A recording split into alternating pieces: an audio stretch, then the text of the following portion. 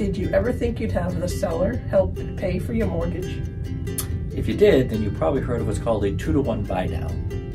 So what happens in that is at closing, there's going to be a chunk of money that the seller is going to put into an escrow account and it is going to be drawn upon every month for 24 months.